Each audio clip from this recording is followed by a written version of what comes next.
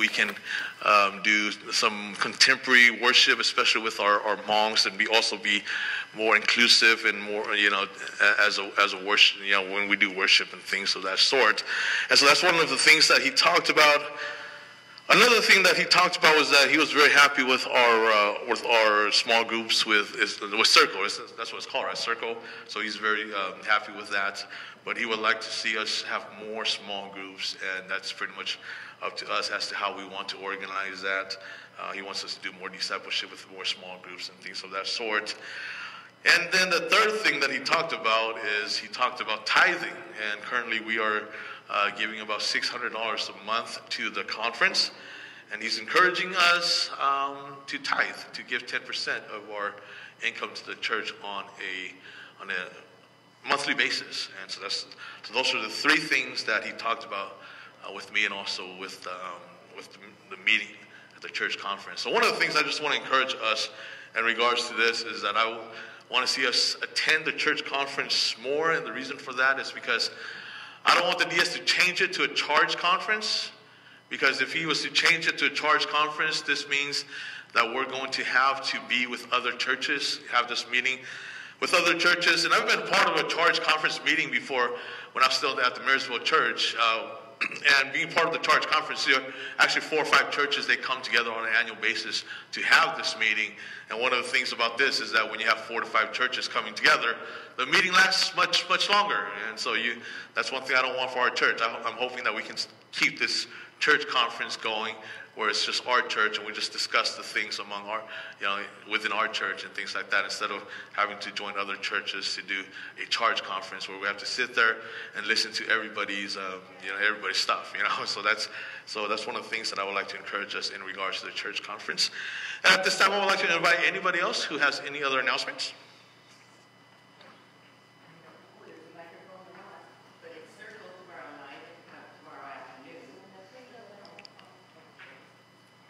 Tomorrow is Circle at my house at 1 o'clock. So uh, please come on over.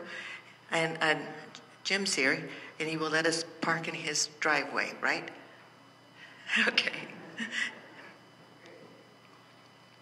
I just want to uh, remark that the flowers on the altar are in celebration of Wayne and Bev Smith's 50th anniversary. Real milestone. Happy anniversary.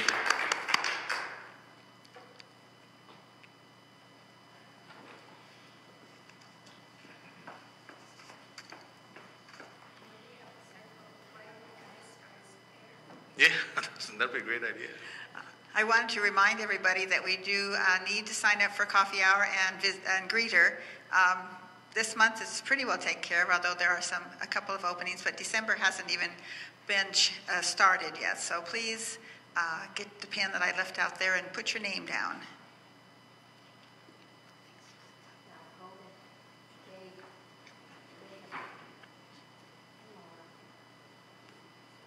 Just wanted to remind everybody that the memorial service for Jim Christensen is at the State Theater at 1 o'clock today. Jim Christensen.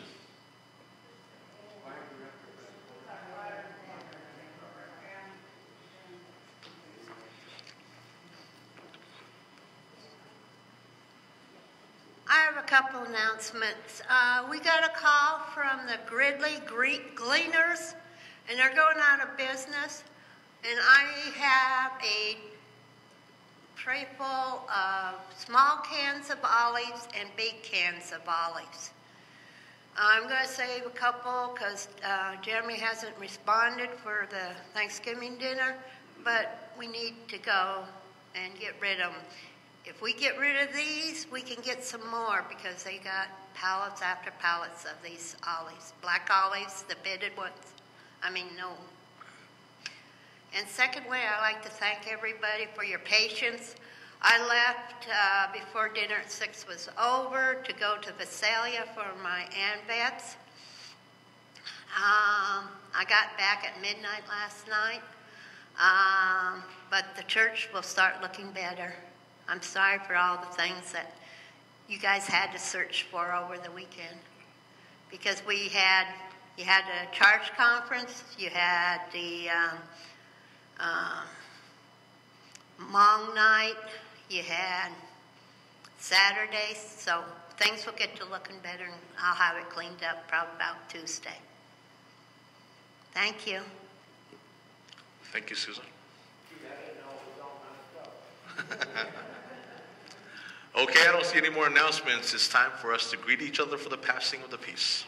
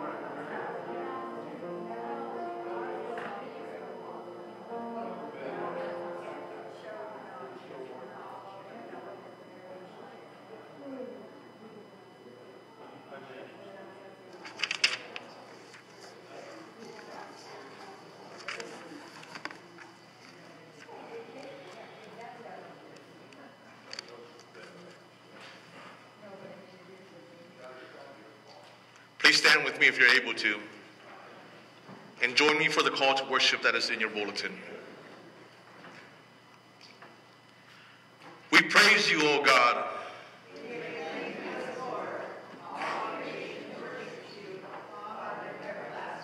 To you, all angels, all powers of heaven, cherubim and seraphim, sing an endless praise.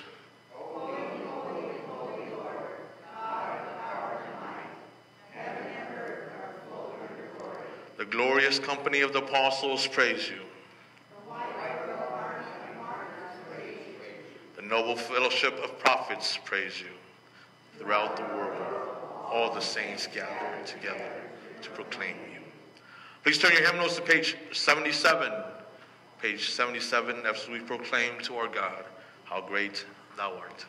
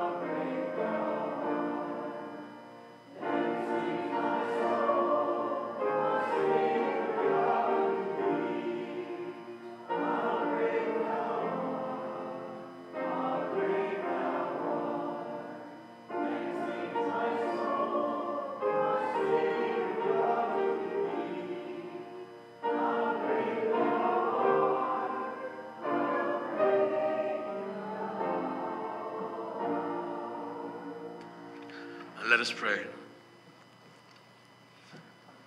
God, you are great indeed. In all things that you do, there is nothing that is comparable to who you are. Father, even the most beautiful things on this earth cannot withstand you, for you are truly righteous and holy, and you're truly, truly good indeed. We gather today in your church as your children to worship you. We ask for your presence to be with us here today. As we hear from you, as we hear from your words, we ask, we ask that we get to see you face to face through your words today. As we praise you, we ask for your presence to be with us. We ask for your Holy Spirit to guide us throughout this worship service. And so, Father, we lift all people here up to you. In the name of our Lord Jesus Christ, we pray. Amen. You may be seated, and at this time, we'll be hearing from the choir, the choir anthem.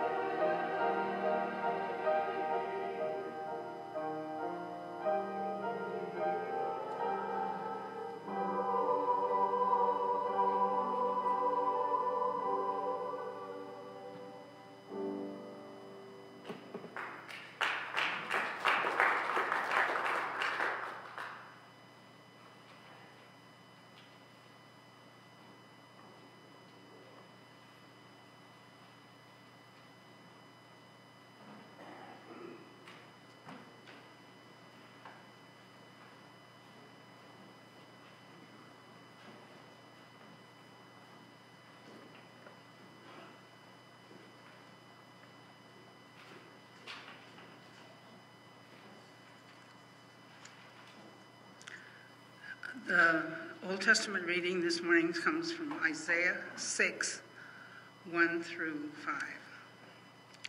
In the year that King Uzziah died, I saw the Lord high and exalted, seated on a throne, and the train of his robe filled the temple. Above him were seraphim, each with six wings. With two wings they were covered their, they covered their faces, with two they covered their feet, and with two they were flying, and they were calling to one another. Holy, holy, holy is the Lord Almighty. The whole earth is full of his glory. At the sound of their voices, the doorposts and thresholds shook, and the temple was filled with smoke. Woe to me, I cried. I am ruined, for I am a man of unclean lips, and I live among the people of unclean lips, and my eyes have seen the King, the Lord Almighty. The word of the Lord for the people of God.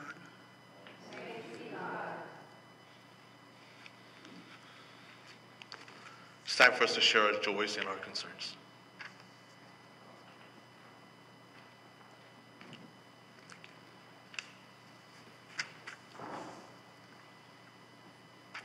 I have a whole list. I've been keeping in touch with people. Um, I called Ginger this morning and she's got the stomach flu. So prayers for, for her because that's really a bad thing. She got this on her vacation, so that's really bad. I was able to talk with Pastor Bob this last week, and um, they are going to be opening the Paradise Methodist Church. It has been open, but uh, another church was using it. But now the the uh, United Methodists are going to go back there, and he's going to be preaching. I think the first and third Sundays, and then lay leaders will do the second and fourth. So. Um, he's, he's quite excited. I mean, he's been very, very sad about not being able to open that church again. So I think this is an answer to prayer. Um, yesterday, um, our little Ava Lynn, who we did our Wings of Eagle basket for twice, you all contributed to it for, at Easter time for the last two years. Uh, her service was yesterday, so I, we need to keep her family in our prayers. Um, their last name is Wallace, Nicole Wallace. And um, you know, it's, it's very rough to bury a child, so that's extra. And then for the Christensen family also, as they uh, uh, get through the service today and then go on uh, uh with their lives. Thank you. I just want to say something about uh, the Paradise Church. They did send an email over to us saying that if we have any lay speakers that is interested in going up there to help them uh, out up there to speak, uh, do let them know. So if you're interested in this, please do let me know. Uh, Thursday, I had a very surprising email that my cousin Bob Enns, who grew up in Orland, had passed away in Albuquerque. And so prayers for Laura, his life partner, and his brother Ron and sister Helen. Uh, we were we all were raised pretty close up because my grandmother and I shared the same birthday, and Helen shares the day before, so every spring we had a big celebration at their place. And Bob was a, he's been fighting MS for decades, and always the good, the good fight, and always a positive outlook. And I talked to my cousin Craig, who, who knew he was passing, and he had talked to Bob, and they had said Bob still had the same positive attitude. They joked and laughed and said goodbye to each other. And so kind of a loss for our family. Prayers from Bob and for the family.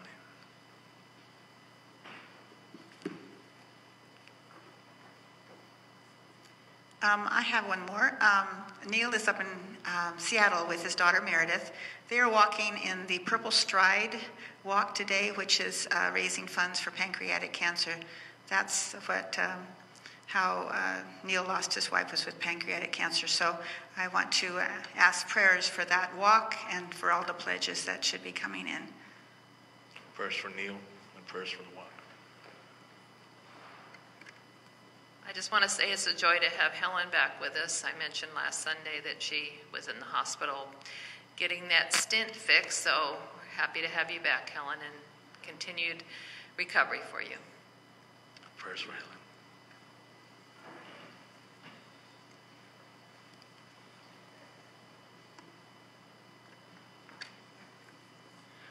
I can't, can't remember if I shared that I'm going to, that I'm going to be a great grandma. But anyway, if I did, I know now that we're having a little girl. Yay! Congratulations, Betty.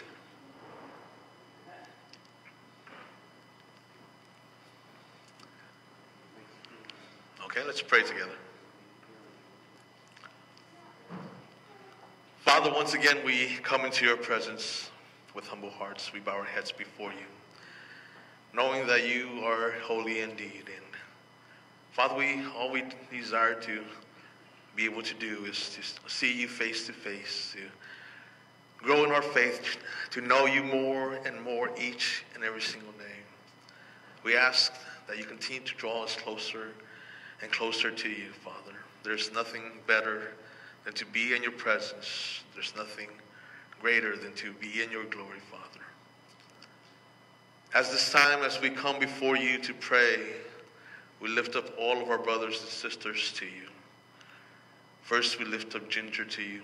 She's battling with the stomach flu. There's actually a few people in our church today that's battling with the stomach flu. Father, we lift them all up to you. We ask that you heal them. We ask that your grace be upon them, Father. We also pray for the Paradise Church. We're so grateful that it is starting to open back up. We're so grateful that Pastor Bob is still able to go up there and to help them out during this time, Father, as they start back up.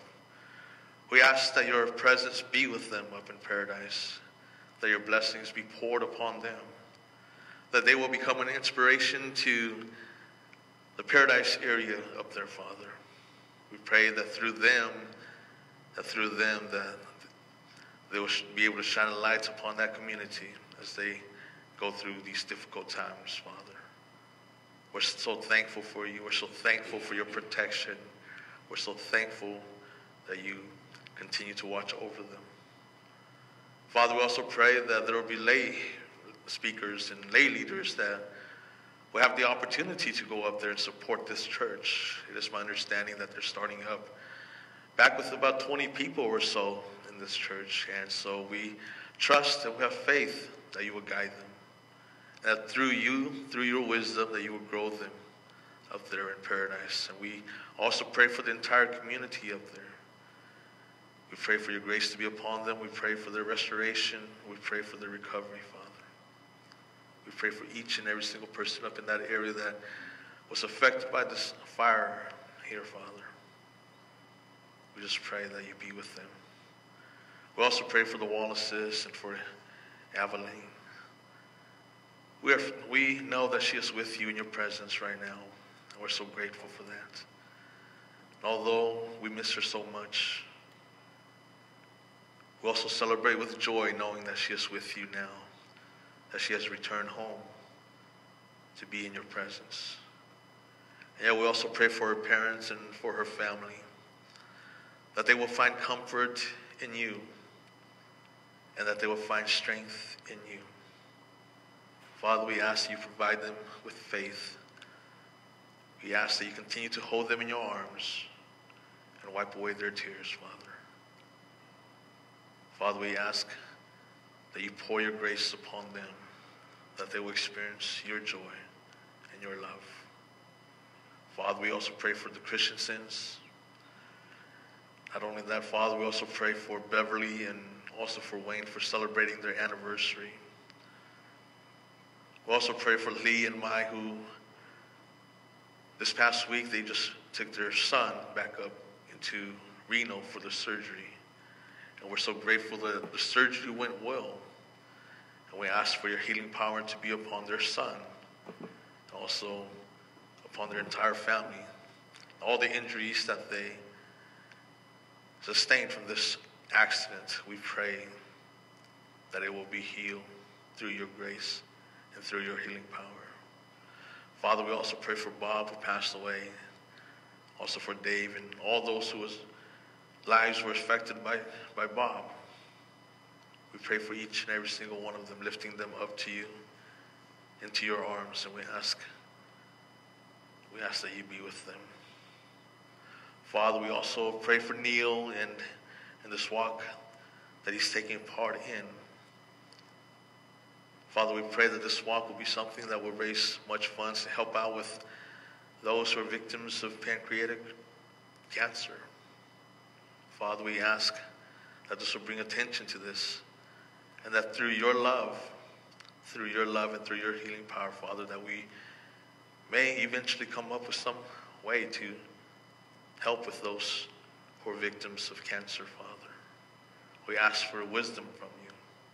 Without your wisdom, there is absolutely nothing that we can do. But Father, we know that you are the creator of all the earth and all things that we see. And that through your wisdom, that when you provide it, that we can do anything, Father. So we lift all these people up to you. We also celebrate with Betty. We celebrate with her as she becomes a great grandmother. We ask that the pregnancy with her great grandchild that it will go well, that the mother and the child will also be healthy throughout, Father. And so we lift them all up to you in the name of our Lord Jesus Christ. And so we pray together the prayer that your Son taught us, our Father who art in heaven, hallowed be thy name.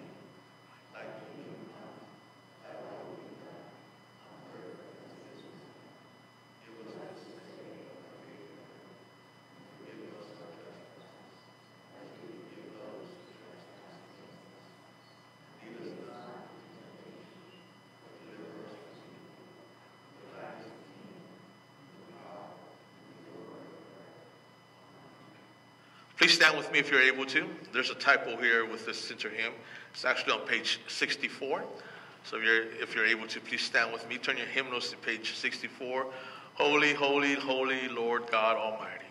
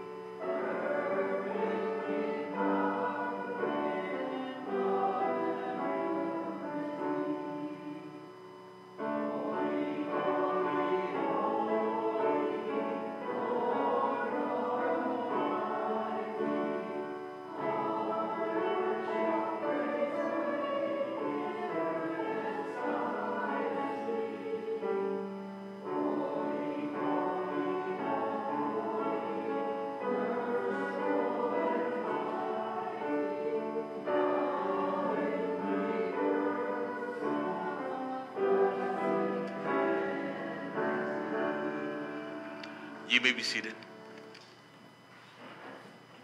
Uh,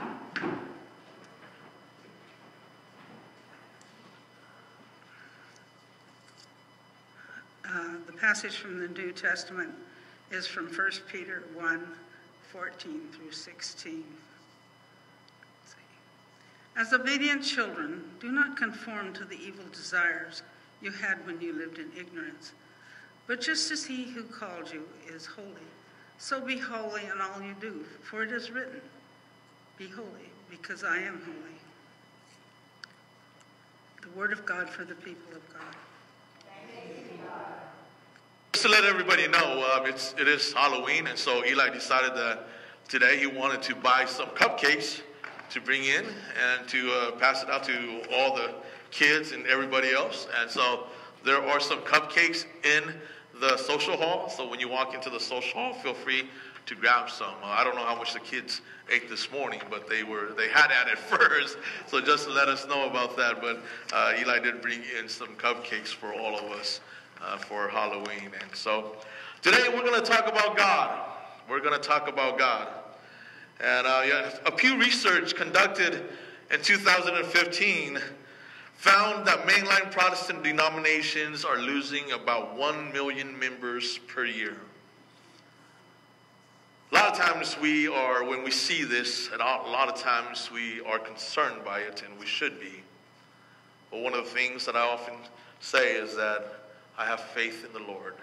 That no matter what is happening, that God often works in mysterious ways.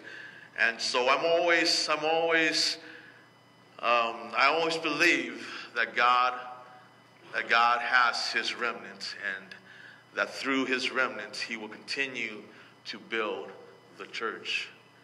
He will never let His church die. But one of the things that I often wonder about is why is it?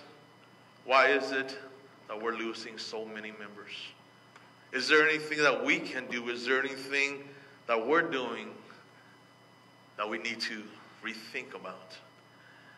And as we look into our Christianity here in Western society, and when I said Western society, I'm talking about all of us here in the West, not just Anglos or anything like that, but all of us here in the West, in Western culture. A lot of times when I think about us here in Western Christianity, and I wonder why is it that we are dying while other while Christianity in other parts of the world is flourishing. And as we go through book, you know, bookstores, Christian bookstores, and we listen to Christian sermons, some of the most popular books, some of the most popular sermons in our time really focuses on us, doesn't focus on God anymore. We have sermons such as Become a Better You. We have sermons such as You Can, and So You Will. We have books such as Your Best Life Now. And so a lot of times we talk about ourselves in our own Christianity. And if we really think about it, oftentimes, even though we still read the scriptures, many times our faith does not begin with God anymore. Many times our Bible doesn't begin with God anymore. Genesis chapter 1, verse 1 says, In the beginning, God created the heavens and the earth. But many times what we have done is that instead of beginning with God, our faith begins with what we want. Our faith begins with what our desires and our passions are. And so today I want to take us to talk about God and about who God is. I don't know about you, but every time I read about who God is, it's something that really just inspires me because as you stand, as you read about Him through His Word, seems as though many times you just come face to face to seeing who this wonderful God is, how righteous and how holy and how great He truly is. And many times we think about how unworthy we are to stand in His presence, and yet through His grace, He brings us into His presence. And in this passage here in Isaiah chapter 6, verse 1 through verse 5, Isaiah was dealing with an issue in the nation for the nation of Judah. We know that the nation, that the Israelites split up into two different countries, two different nations, the northern kingdom and the southern kingdom. And so this passage here took place in the southern kingdom of Judah at a time in which King Uzziah had just died. And so you see, King Uzziah was a king, was one of the most successful kings in the history of the Israelites, especially in Judah. During his reign, the people of Judah experienced much prosperity. They experienced much success. He was one of the most successful kings since the time of his father, king, of his grandparents, King Solomon and King David. At the age of 16 years old, King Uzziah took over the throne of Judah. The scriptures teaches us and it shows us that he reigned for approximately 52 years as the king. And within those 52 years, like I said, Judah experienced tremendous, tremendous prosperity. But not only does the Bible talk about King Uzziah, but we also have archaeological findings that talks about King Uzziah. Shows that he was an actual person. In 1931, there was an archaeological found that is now known as the Uzziah tablet. It's a gravestone. It is a gravestone that was discovered by Professor E.L. Sukenik of the Hebrew University of Jerusalem. And on this gravestone was the inscription that says, Hither were brought the bones of Uzziah, king of Judah, not to be opened. And this gravestone was dated back to around the early century, around the time in which Jesus Christ was walking this earth, back around 30 to 70 AD. And the inscription that was written on this stone was written in an Aramaic dialect that is very, very similar to that of the Bible language, the biblical Aramaic. And so King Uzziah, by all means, by all means, was not just a character in the scripture or a person in the Bible, but we also have archaeological findings that shows that he was an actual person, a king that reigned. And like I said, he reigned with much, much success. And upon his death, upon his death, imagine the things that Judah was going through when he died. Even though throughout his life he was very faithful to God, in the end, he sinned. And so he, because of his sin, God cursed him with leprosy, and because of that, later on he died.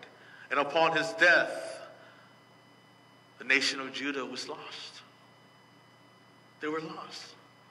They were unsure exactly what was going to happen to them.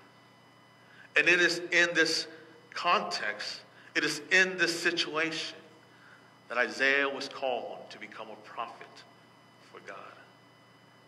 It is in this historical context in which Isaiah looked up into the throne of God and he saw the Lord sitting on that throne. You see, the throne in which man sat upon was empty. The throne in which King Uzziah sat upon was empty.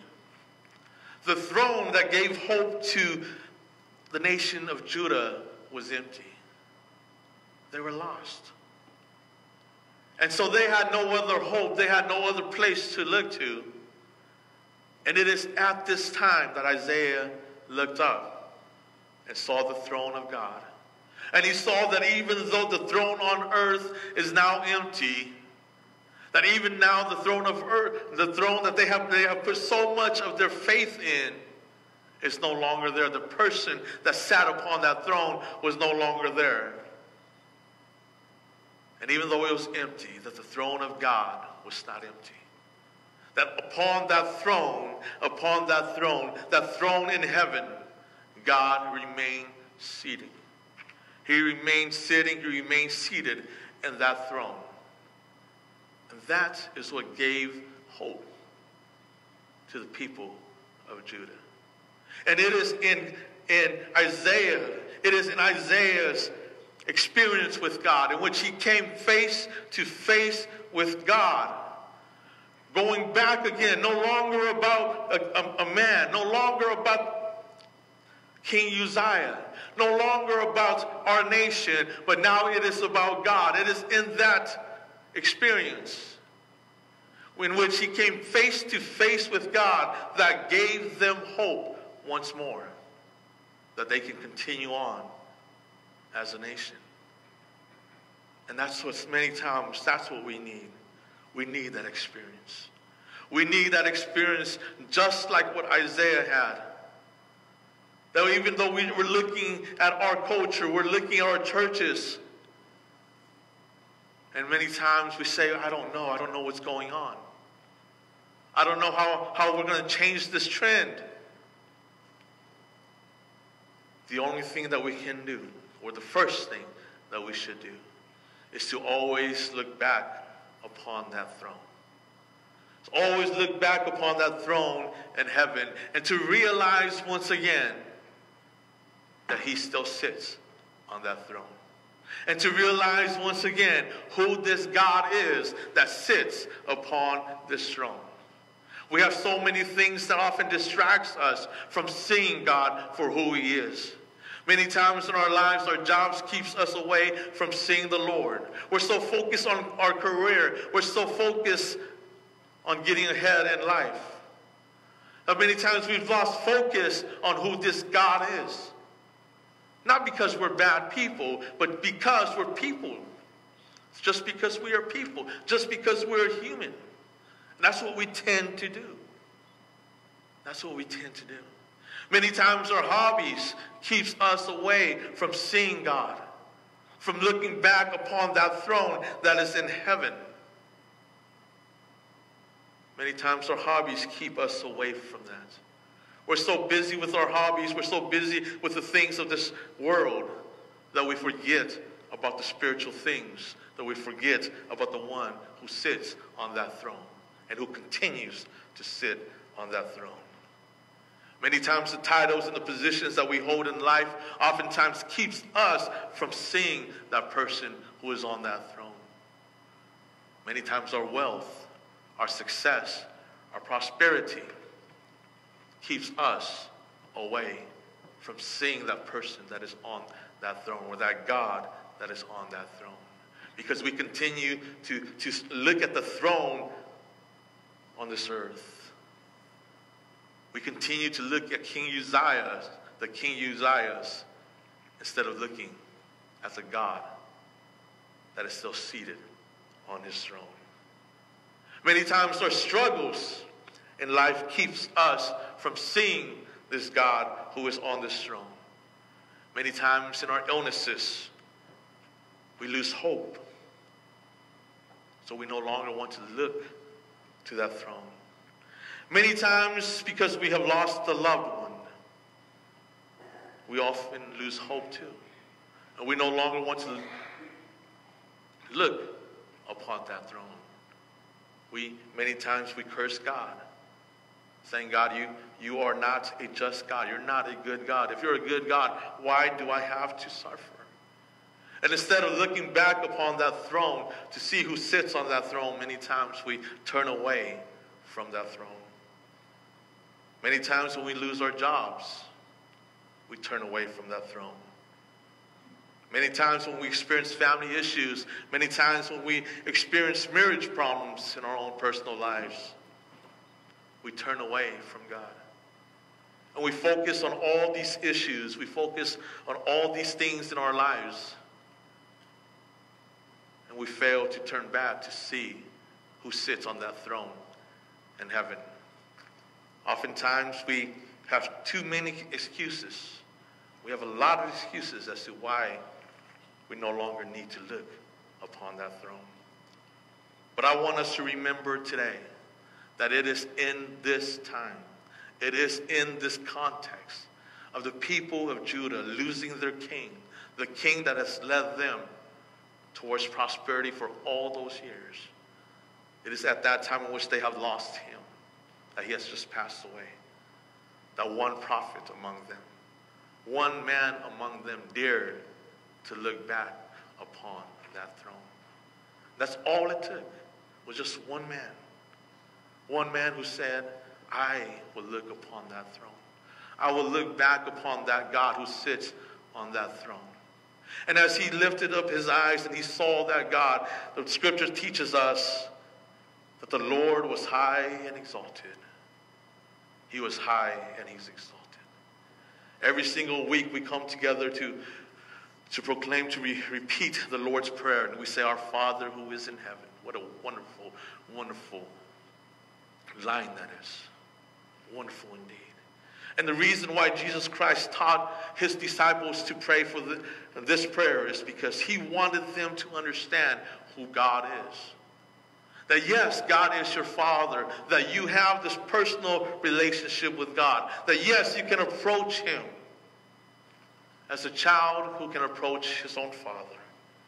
And yet, as you approach Him, you must remember this that you are of this earth, you are of dust, and this God is in heaven. He is high and He is exalted, and that is who. And that is who you need and we need to recognize who God is. That He is above us all. That there is absolutely nothing that we can ever do for Him that He cannot do for Himself. God says to every mountain that you, you stand this tall. And that's, that's it.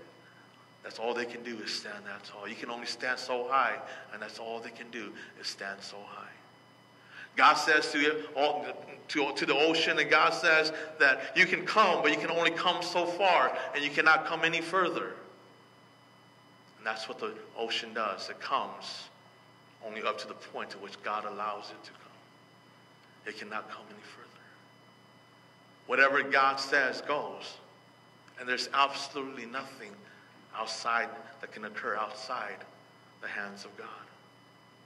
That's who God is. He's high, He's exalted. He is the king that sits upon that throne. When we look at the story of Moses after the, after, after the Israelites bowed down before the golden calf, God was upset with them. And many times we say to God, Why is this God such a jealous God? Why is this God such a bad God? Why does He want us to keep giving Him worship? Is it because He's an evil God? No, absolutely. The reason why He wants us to worship Him is because it belongs to Him. All of, the, all of our worship belongs to God and God Himself. It does not belong to anybody else. And that's why when we, when we bow before the golden calf, it upsets God. Because He is demanding what is rightfully His. Just like many of us when we, when we go to work. If you go to work, you get your paycheck. Every single week, they take $100 off of your paycheck. Your company takes $100 off of your paycheck. None of us will be happy with that. We would demand to get that $100 because that is rightfully ours. And that's what God is doing. He's demanding what is rightfully His. That is all of our hearts, all of our lives, everything surrender over to Him in worship, and worshiping who He is. And yet, in this incident, in this issue with the golden calf, God said to the people of Israel, that today I will, I will remain faithful to you. That even though you disobeyed me, even though you offered your worship to someone else, I will still continue to bless you. As, as you go into the land filled with milk and honey, I will even send my angels before you to protect you.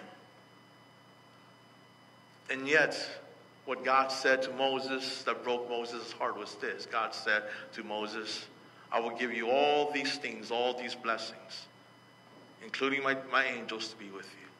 But I will not go with you, for you have disobeyed me. To many of us, we will say, God, thank you for that. That's what we're looking for. But the prophets of ancient times, the prophets of the Old Testament, they knew that the presence of God and having God with them was so much more important than all the wealth of the earth. And so Moses got down on his hands and knees and he said to God, God, we will not go if you don't go with us. We would rather that you kill us here in this place than for us to go without you. Because that's not what we're seeking after. We're not seeking after all these blessings. We're not seeking after all this wealth. we're not seeking after all this prosperity, but what we're seeking after is we're seeking after you. And so Moses says, unless you go with us, God, don't send us. Rather kill us here. Let us die here. We would rather die here in this place than to go to a land of prosperity without your presence.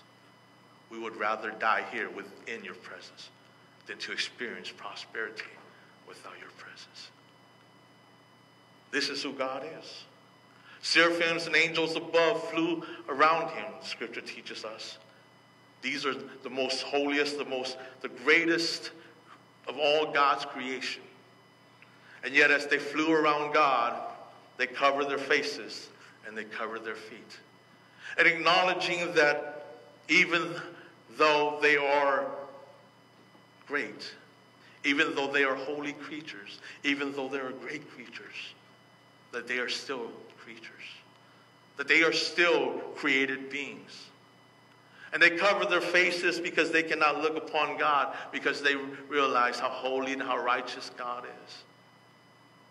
And they cover their feet because they knew that they were still created beings. And God is the only one that was never created. He is the Alpha and the Omega. He is the beginning and He is the end.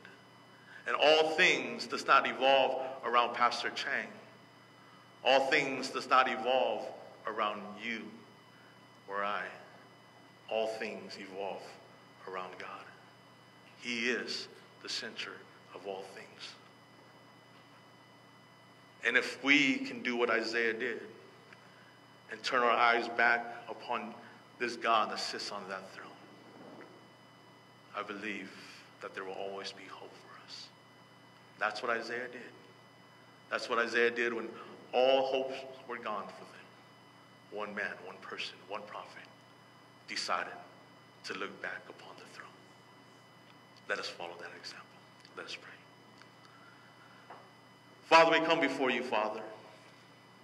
You are holy and wonderful indeed. Even the angels fly around you, covering their faces and covering their feet, knowing how wonderful and great you are.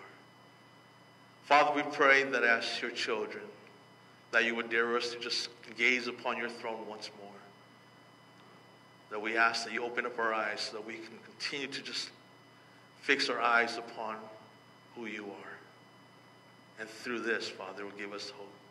Through this, Father, will strengthen us. And so we lift everyone up to you in the name of our Lord Jesus Christ, we pray. Amen. It's time for us to do offertory.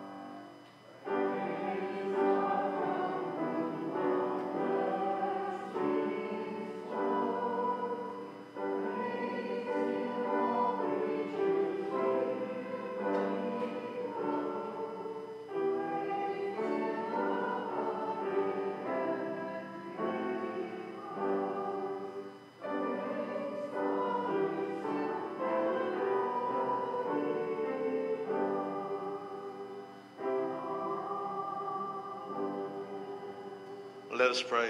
Father, we come before you to offer you these tithes and these offerings, Father. These are yours and yours indeed. We ask for your blessings to be upon it and, and also to be upon our church and each and every single one of our lives, Father. Continue to bless us. Continue to let us shine in this community. Through us, continue to proclaim your message in the gospel of your Son, Jesus Christ, to lead other people to you, Father. We lift all things to you in the name of our Lord Jesus Christ, we pray. Amen. Please remain standing, and we will be singing from the hymnal 144. 144, This is My Father's World.